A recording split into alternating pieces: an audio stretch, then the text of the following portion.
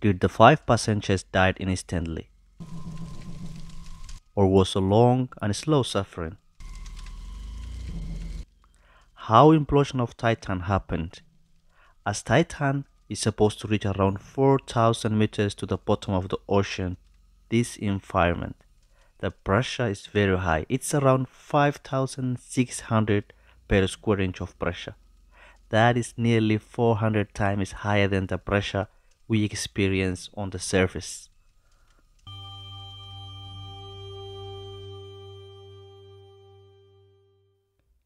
It's early Sunday morning on 18 June 2023. A group of five people wanted to make an adventurous visit to see the historic Titanic wreckage. They paid $1 million for the trip, but nothing goes as planned. Shahzada Dawood and his son Suleiman Dawood were British citizens from a prominent Pakistani business family.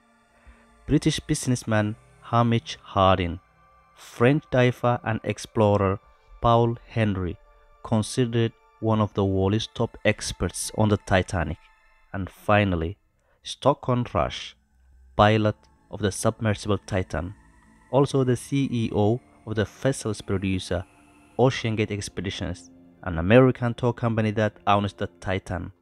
He is going to operate the vessel. They were all rich. Each one of them paid $250,000. The mission is to dive the Atlantic Ocean, just hoping to view the Titanic wreckage and came back on the surface. The wreck of the Titanic lies at the depth of about 12,500 feet, that is 3,800 meters. The Titanic infamously hit an iceberg and sank in North Atlantic Ocean in April 1912, killing more than 1,500 people. The wreckage of the Titanic was discovered in 1985. The passengers and their small submersible Titan traveled on a ship and went to the Atlantic Ocean, exactly above where the Titanic wreckage lies.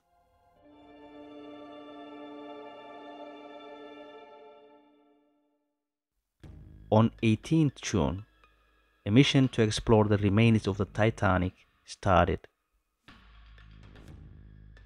The 22-foot carbon fiber and titanium craft, called the Titan, was deployed by a Canadian expedition ship and it started to travel nearly 13,000 feet down to the ocean floor of Newfoundland, Canada. Unfortunately, the Titan lost contact with the surface ship an hour and 45 minutes after it started to dive. The communication channel with the Titan and the five passengers is not functioning anymore. From this moment, everything goes wrong. Stockton Rush, the founder and the chief executive of OceanGate Expeditions, is operating the Titan. The Titan has very limited capabilities and it is controlled by a cheap Xbox controller. The Titan started diving with a limited amount of oxygen, no way of generating more. Once it's consumed, passengers would be left without breathable air. The Titan started diving on Sunday with a guaranteed 96 hour supply of breathable air. as the Titan lost the connection with the surface ship. 105 minutes after it started to dive, the situation became very unstable.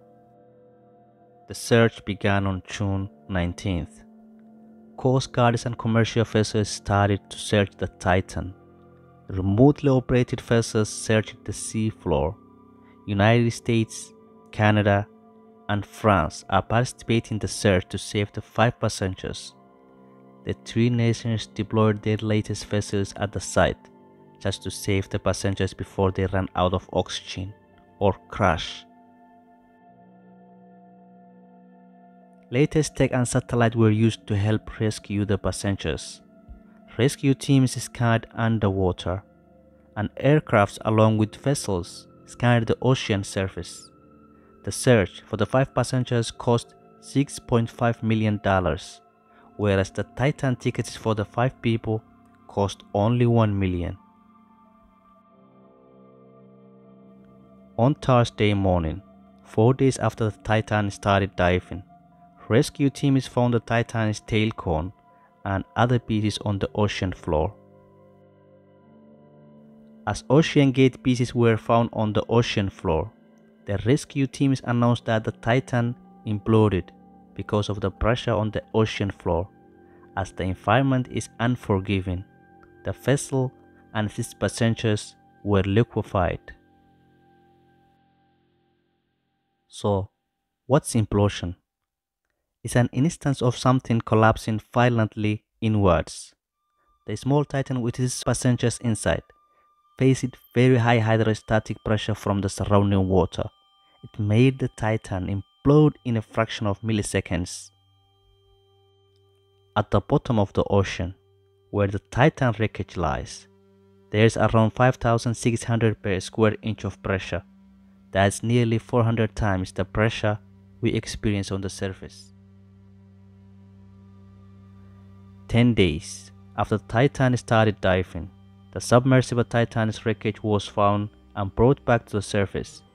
Human remains have likely been recovered from the wreckage of the submersible that imploded during an underwater voyage to view the Titanic wreckage. The presumed human remains will be brought to the United States where medical professionals will conduct a formal analysis. If you found this video interesting, please subscribe the channel to see more videos like this. Thanks.